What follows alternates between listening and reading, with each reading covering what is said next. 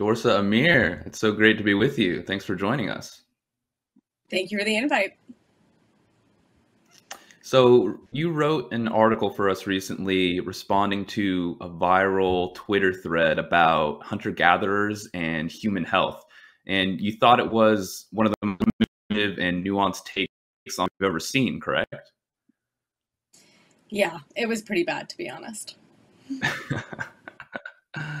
So tell us a little bit about what you saw and um, what was your reaction to it. Yeah, absolutely. So, as someone who's trained in anthropology, um, you often encounter a lot of myths and, and tropes and stereotypes of the media about hunter gatherers. It's a place where our imagination often goes. Um, the problem is when those myths and stereotypes and tropes enter into mainstream discussions and end up potentially harming the populations that you're talking about. And I think that's what was happening here. And so the, the history of this is that um, Dr. Anthony Gustin, who is a chiropractor turned uh, health coach, I believe, um, went on a one week trip to the Hadza, who are a forager group in Tanzania. So they're still largely hunting and gathering um, for a lot of their food. And he went there on essentially a one week vacation hunting trip to learn how they live and, and maybe garner some insights into how we should be living. The problem was when he came back, he he sent us this narrative through Twitter about what the experience was like and what he learned from it. And in doing so, the, the characterizations of the Hadza and the things that he was saying um, were actually rather harmful.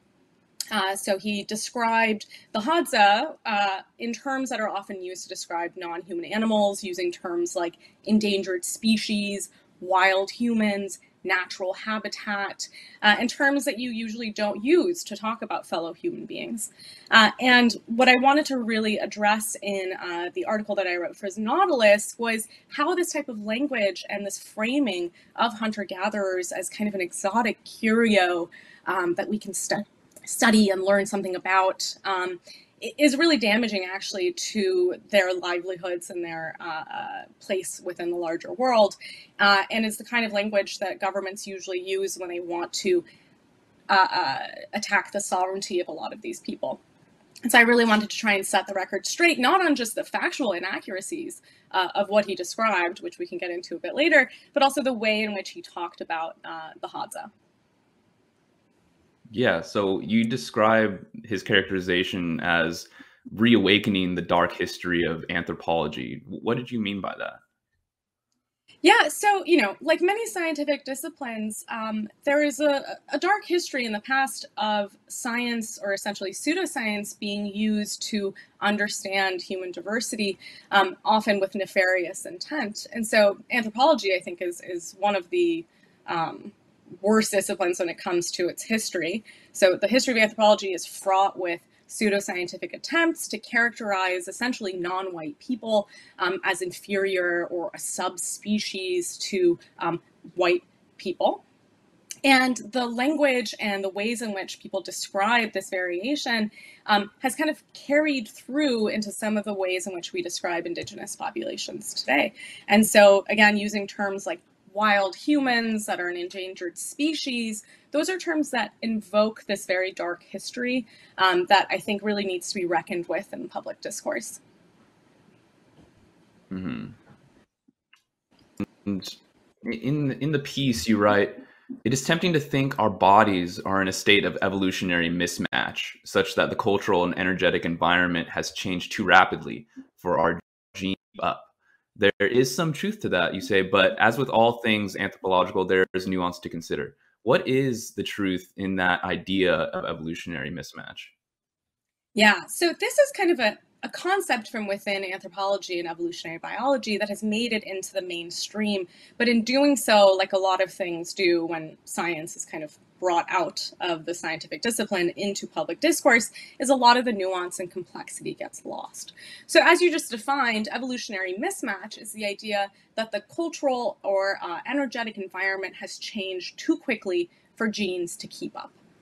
And in fact, what I mentioned is that there is some truth to that, right? So human cultural evolution has been rapidly progressing, uh, almost exponentially. So for 99% of humanity's time on this planet, we lived in smaller bands of foragers who are mobile. Uh, approximately 10,000 years ago, in some regions, you start getting the rise of agriculture. And then we go from that to what we are living in today in this just kind of like industrialized, massively large population size, interconnected global world. Um, and that is a really rapid change. So all of that is happening within the last like 1% of human evolution. And there is something to be said about um, our bodies and minds potentially not being able to biologically evolve in response to those uh, pressures. So the biological evolution is much slower than cultural evolution. And there is some truth to that in that the energetic environment that we're living in now is very different than the energetic environment that we faced throughout our history. So, one of the things that we have access to that we really didn't have much access to in the past is an unbelievable surplus of calories, of energy, of sugar, of carbohydrates. Um, and all of this energetic input is shaping the way that our bodies develop across the lifespan and in some cases, like in the case of um, type 2 diabetes, we're actually kind of reaching the natural limits of the amount of glucose, for instance, that our body can process. And we have to um, use insulin to, to kind of supplement the amount that we can make because um, we've reached the, the upper limit, essentially, of what was possible in the past. And so there is some truth to the fact that um, we have to kind of consider that our genes might not be fully uh, uh, uh, responsive or not optimized for the world that we live in now. But a very shallow understanding of this, and this is what I mentioned in the piece, is that there's this misunderstanding of what this means. It's not the case that in the Paleolithic, we lived in this state of perfect health and harmony with nature. And really, all we need to do is go back to that because that was the Garden of Eden, right?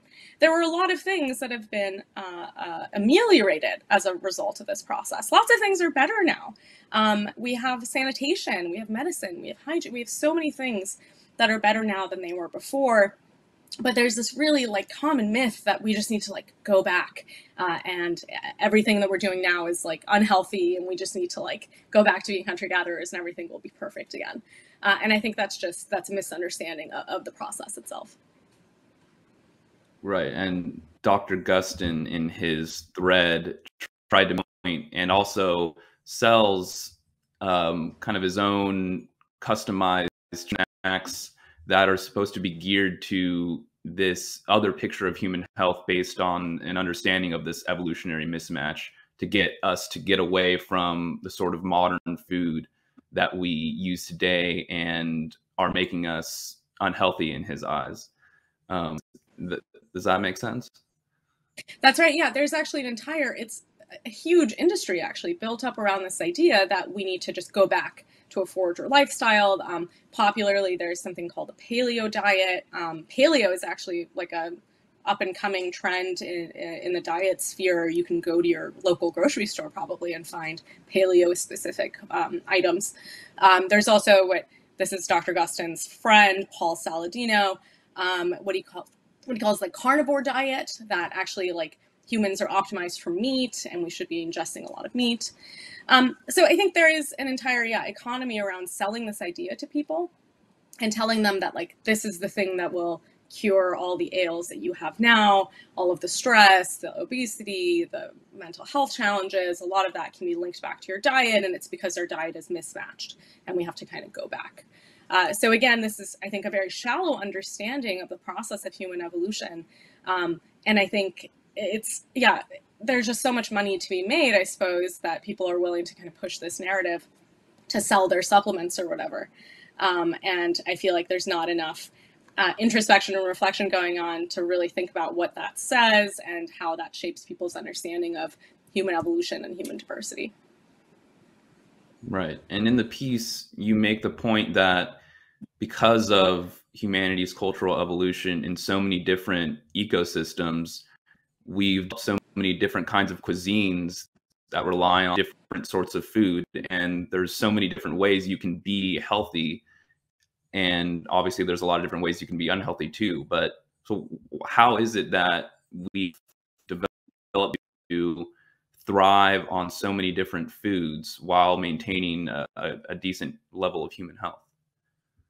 Yeah, so this is like, I think, the secret sauce to what makes humanity so successful. With humans, truly variation is the norm. So, compared to other primate species, other mammals, we display an incredible amount of flexibility and plasticity. So, consider the fact that our primate cousins, like chimpanzees or bonobos, they live in like one region of Central Africa. That's pretty much it. Now think about the human map, right? We live in every single ecology on the planet. We live in the Arctic, we live in the Amazon, we live in the Sahara, and we are able to, through our behavioral and cultural adaptations, develop bodies of knowledge about how to survive within each of these ecologies. This is really like unprecedented in the animal kingdom, and I think something that isn't appreciated enough about what makes humanity so unique. Um, when other animals go out and live in these different spaces, they do so by becoming different species and specializing to that ecology. We do this by still remaining the same species, right? We have these incredible adaptations that allow us to do this. And through generations and generations of individual experience and cultural knowledge, we're able to figure out what things in that environment can sustain us. And there's this process of refinement going on in each of these cultures. And so, this is why you have thousands of different cuisines around the world, all of which are able to meet the nutritional requirements for keeping a human body up and running. Um, it's almost always some combination of meat and animals. Uh, I'm sorry, meat and uh, plants, but not always, right? So you have entire massive countries like India where vegetarianism is a really um, a, a, common dietary strategy, uh, and you're still able to meet a lot of those dietary requirements. And so, as with all things human, including uh, diet, variation is the norm. And so, when I hear people say you should follow a paleo diet and follow what humans were doing in the Paleolithic, my response is, which humans of the Paleolithic, right? At some point, we were living, I mean, and we still are, in every ecology. We're living, we're subsisting on marine meat, we're subsisting on baboons, right, which is what the Hadza, uh, as Anthony Gustin kind of pointed out, are eating. Um, we're subsisting on fish, on plants, on tubers, on everything. Um, we are truly incredibly omnivorous. And so the idea that there's like a magic recipe and a, a, clear diet that's correct to follow is just simply incorrect when it comes to understanding humanity. Right. Um, tell us a little bit about what your focus is now in your evolutionary anthropological work. What are you, what are you up to recently? Yeah, so I'm really fascinated by human behavior, which, as I mentioned before, is really one of the ways in which we are able to accommodate all these vastly different parts of the world, all the different challenges that they pose. So, a lot of the work I do is focused on behavior and how different environments actually help promote the development of different behaviors. So I focus mostly on kids, on the kind of origins of this behavioral flexibility and how children really understand the social world around them and integrate that information into their own behavior. So I do a lot of cross-cultural work with other populations, uh, in particular among the Shuar of Eastern Ecuador, who I've been working with since 2013. Um, they are a forager horticulturalist group that lives in Amazonian Ecuador and who is still largely, in, in many regions, um, hunting, gathering, and planting crops in their garden for their subsistence. And so in going out and really sampling human diversity, what we can try and understand is what features of our behaviors are more shared and more consistent, and what features seem to be a lot more penetrable by cultural and environmental input. And so that's really the, the core of what I research is what are the types of things that are uh, behaviorally flexible um, as a result of different cultural and ecological environments, and what are the things that, that tend to be more consistent. What are the what are some of the biggest or most surprising differences you see in the way the groups you've studied raise children compared to how we do it over here? Yeah, that's a great question. So this is uh, the thing that I was most struck by actually when I first started doing um, field work among these Shuar communities. Uh, I actually went in with an interest in medical anthropology. I was really interested in physical and physiological differences. Um, but the first summer I went down there, I was just so struck by how different the kids were and how different their lives were from um, the American kids, you know, that I, I interact with, and I was one myself. Um, I think that the way in which um, children there practice their autonomy is very, very different. I think that's really the core difference that I see. So kids there for a lot of their time. Um, so they are in school um, during the school year, but the short the days are a little bit shorter. And outside of school, they have like a, tremendous amount of autonomy over their own lives. So they decide what they want to do. They go explore with their friends. They go foraging for themselves. They cook food for themselves over the fire. There's just a tremendous amount of independence that I don't really see quite as much here in the United States. Uh, and the other thing that really struck me was the amount of time that children spend in groups with other children. So this, these aren't just like lone children running out and doing this by themselves. All of this is almost entirely done within the context of mixed sex and mixed age playgroups. And so there are just these like this incredible secondary community of children um, that is that is a huge part of what it means to be, um, you know, a community member. It's a big part of Shuar culture. And in fact, in a lot of these small scale societies, um, they have relatively high fertility rates. And so you have a lot of kids. Um, among the Shuar, almost half the population is under the age of 15. So there's a lot of kids, and they're really, I think, contributing in important ways to Shuar culture. Um, they generate their own cultural inventions. Um, new ways of speaking, new ways of being. They have their own culture. Uh, and I think this type of you know innovation and flexibility and independence is really not something that we see as much of in places like the United States where we have kind of restricted and restricted and restricted the amount of time and space that children have to set their own agendas um, by kind of filling their schedule with things ourselves, with school, with um, extracurricular activities, things like that. Um, and in general, I think there's a tendency to treat children more like large babies than small adults. Uh, you know, there there tends to be this more like hierarchical. We tell them what to do, when to do it, and we let them know what their allowances are.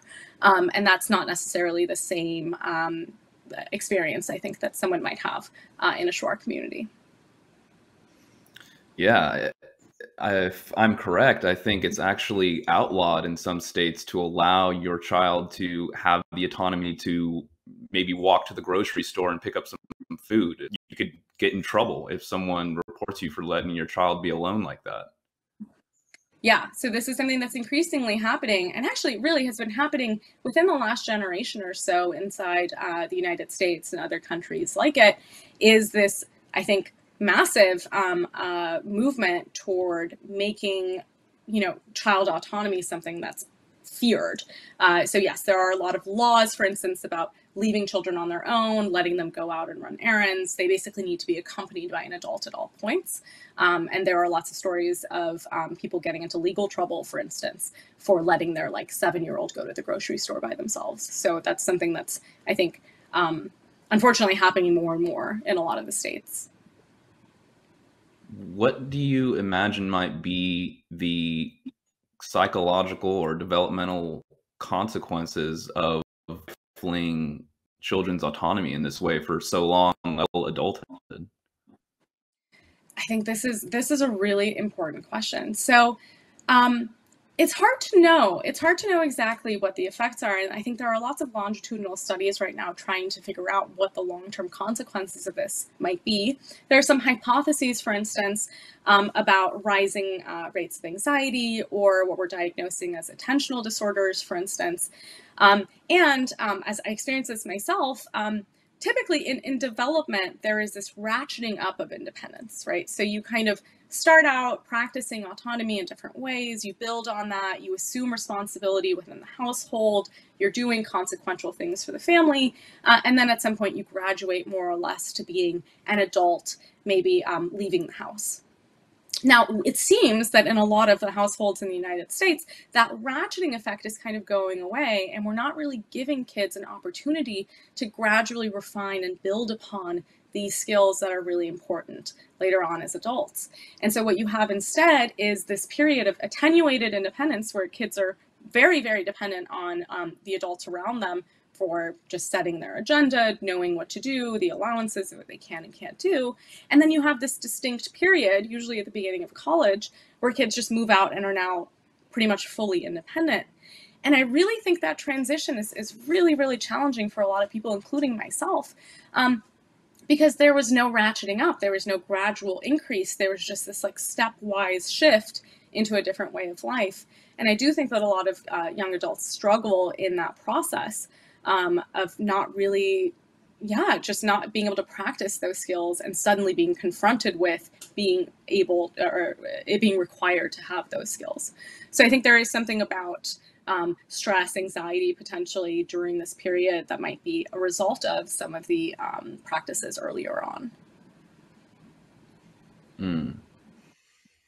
Well, Dorsa, that's all so fascinating. And I'm glad I got to hear a little bit about your work and how you brought this piece together on the Hadza. Um, really appreciate your time today. Of course. Thank you so much.